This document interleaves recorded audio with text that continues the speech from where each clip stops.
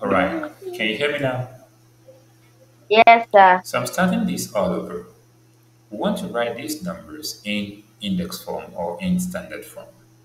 The first one is just 3 because it's just like 3.0 and because there are, there are no numbers, you know, there is no need of moving the point any step, then it's just 3. Or we say 3 times 10 raised to power 0 because we did not move our decimal point to any step. Is that clear? Yes, sir. But the second one is going to be 8.00. But we don't need the 00. That is just times 10 raised to power 2 because the point has been shifted from the back of the last 0 to the back of 8. Okay? Okay, sir. Good.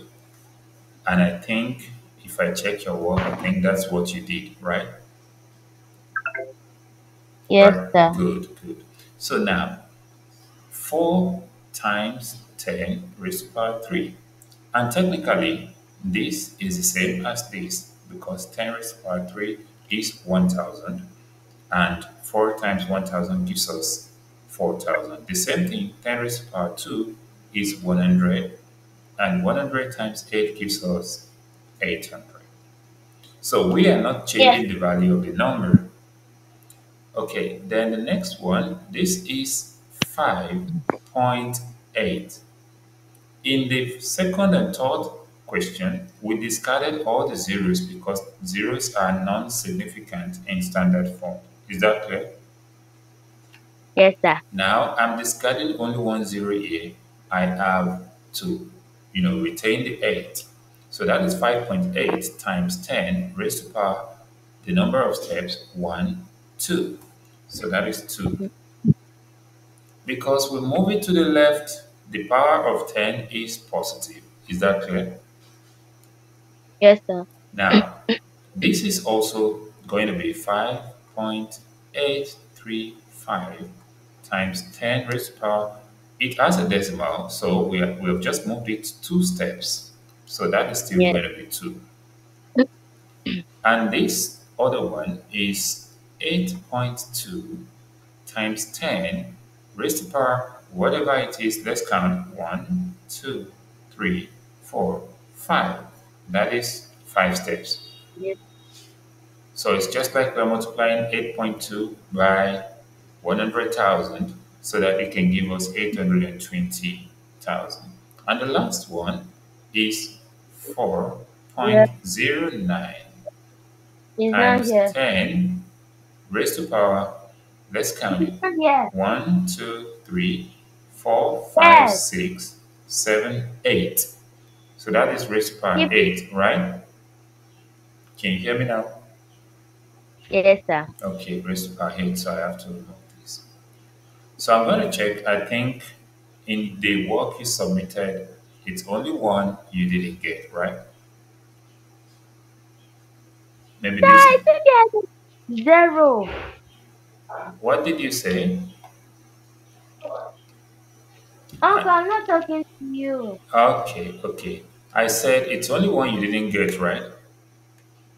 Yes, sir. Good, because this number one you thought, well, 10 times 10, had it been it's 30, that would have been, no, let's say we have 30, that would have been 3 times 10 raised power 1, but we don't even need to put the 1, so it will now be 3 times 10. Is that clear? Okay. But all the rest, I think you have done a very good work there. And that's going to be one, two, three, four, five, six. That is 6 out of 7, which is a very good mark.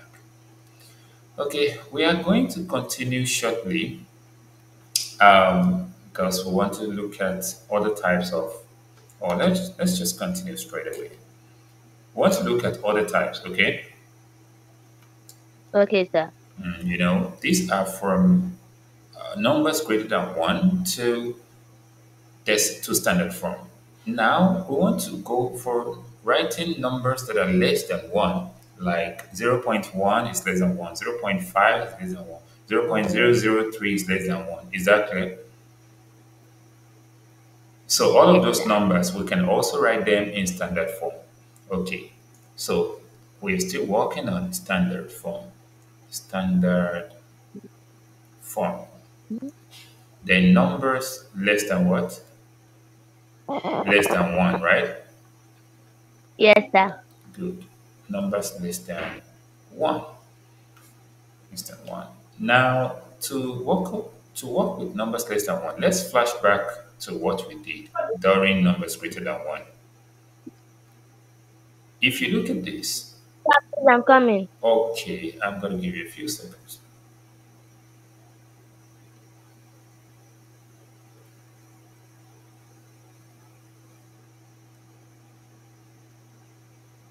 I'm back. All right. Yeah, yeah, let's continue. So if you look at this one, we wrote the, we, we picked the first digit as our answer, then we multiplied by 10, and we now consider how many times, how many steps we moved our point to the left. This case, we didn't move it at all. That is zero step at the top here, okay? Okay, sir. Then the second one, we pick 8 and we write it, we multiply by 10. But because the point from back of 0 has moved two steps to the left, that's why there's two steps here, okay? Okay, sir. Now, if it is a decimal number, we are going to move our point to the right so that we can have a digit, okay? Okay, sir. For example, let's say example, uh, example 1. Let's. Example 1. If I have something like, you know, to write the numbers in standard form, let me say write the numbers, the numbers in standard form. In standard form. Okay, so writing numbers in standard form. The first one is 0.003. You can see this number is less than 1, right? Yes, sir. Then I'll just pick the first non-zero digit, which is 3. Is that clear? Yes, sir. Then I will multiply it by 10. Then I will count the steps that I have taken my point. It's now at the back of 3 instead of at the front. Is that clear? So how many steps? One, two, three. That's three steps. But now it's going to be a negative step because it's a very small number that we have turned to be a big number. Okay? It's a very tiny number, right? Hmm. Let's check another one. 0.00056. Can you see the next number? Yes, sir. 0.00056 is a very tiny number, yes or no? Yes, sir. You know, if it is 0.9, this is, this is bigger than this other one, right? Right? Yes, sir. Good, good. Um, what's happening to your video there? Nothing. Okay, okay, let's continue. Now, 0.00056. I said you should pick the first non-zero digit. What's the first non-zero digit? That's 5, right? Yes, sir. Good. Then point whatever remains. That's 6. Is that clear? Yes, sir. Times 10 raised to power. Your point has been shifted from here all the way to this place, okay? Okay, sir. Now, how many steps? One, two, three, four. Again, it's going to be a negative step because it's a very tiny number that has become a bigger number. Is that clear? There's you are not counting the six, right? Did you move it ahead of the six? No. Okay? You're counting the steps of the point. Where's the point now? After five, right? Yes, sir. Good. So count. One, But sir, that number will- two, three, four. Can you see that? Right? Okay, sir. Good. There is nothing wrong with number one. Number one has a point and it's point zero. Is that clear? Sir, did you count the tree? Hello. Did you see points before three in number one? No. Aha. So where is the point after the three? Yes or no? Yes. But do we are we supposed to write it there? No, it doesn't make any difference, okay? Because there is no number after the 3. Is that clear? Okay, sir. Good. But this other one, there is a 6 after the 5. Yes or no? Yes, sir. That is why we needed to write the point. Okay? Yes, sir. Let's consider the third one. 0 point 0, 0, 0, 0, 0, 0, 0, 6. Can you see this number? Yes, sir. You know, it's just like the first one, right? Only the number of zeros are different, right? Yes, sir. So you try. What do you think I should write? Hmm. I'll pick the first non-zero digit, which is 6, right? Yes, sir. Then I multiply by 10. My point is Nine. now here. Yes or no, right? So let's count the steps. One, two, One, three, two. four, five, six, seven, eight. So is it going to be plus 8 or minus 8? Minus 8. Good. Is that clear now? Yes, sir. All right. Number four. I want to try the fourth one. Let's say we have something like 0.0348. 0.0348. And I want to change it to standard form. All I'm going to do is to write the first non-zero digit. What's the first non-zero digit? Counting from left to right. What's the first digit? Um, the first digit. Counting from left to right. The first non-zero digit is what? left. Um, three. What is this? Say it again. There. Say the, the first non-zero digit. Non-zero digit. Digit that is not zero. digit is three. Three. Good. Then point the remaining numbers, right? Yes, sir. Times 10. How many steps have you moved your point?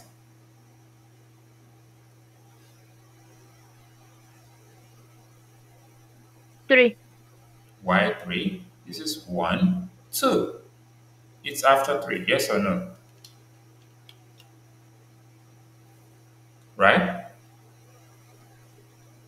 Okay. The point was after this 0, but now it's after 3. So that is two steps. Is that correct? Okay, sir. Will it be minus or plus?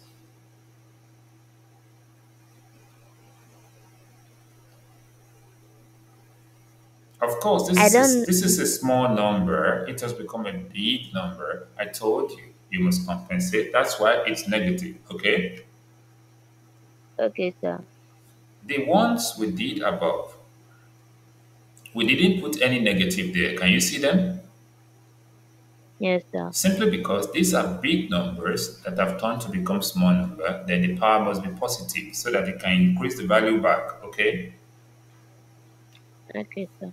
But when they are small numbers that return to become big numbers, then they must be negative power. Let's do another one before I give you some to do, okay? Mhm. Okay, sir. Good, good. So the next one is going to be, um, let's say we have something like 0.000042. 0.000042. So what do you think I should write? Tell me. But we should write four Yes, 4. Mm-hmm. point two Point. Good. Yes. times ten, Good. then Raised to Um, power what? to count it? Yeah, count it. Okay, sir. One, two, three, five. Is it positive 5 or negative 5? Negative five. That's correct. Okay. Is that clear? Yes, sir. Are you happy now? Yes. Because I can see you frowning your face as if because you were not getting it, right?